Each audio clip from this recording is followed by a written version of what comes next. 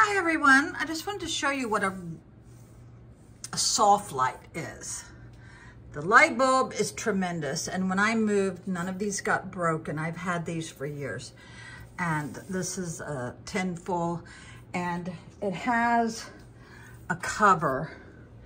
Let me show you. It has a cover. It's just velcroed in up there and it is adjustable.